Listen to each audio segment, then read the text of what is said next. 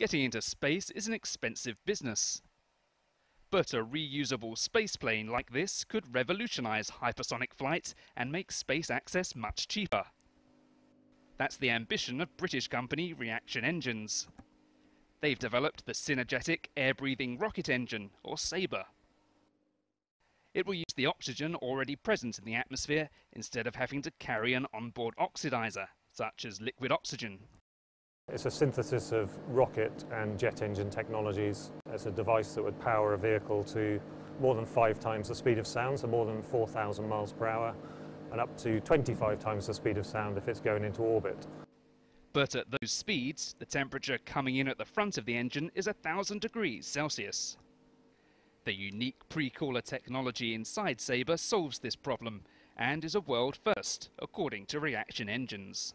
Essentially, it is an extremely efficient heat exchanging system which will very efficiently cool incoming air from a very high temperature of about 1000 degrees C to minus 150 degrees C in a fraction of a second, approximately one hundredth of a second.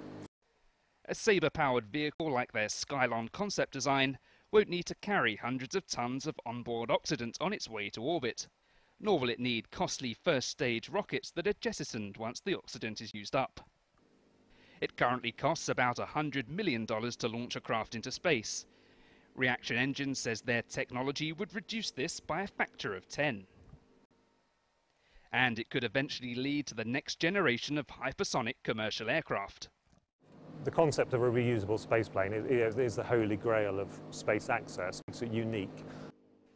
The company has received more than $100 million of funding from BAE Systems and the British government. They're aiming for a full engine demonstration by the end of the decade, with plans to then start work on a reusable spaceplane.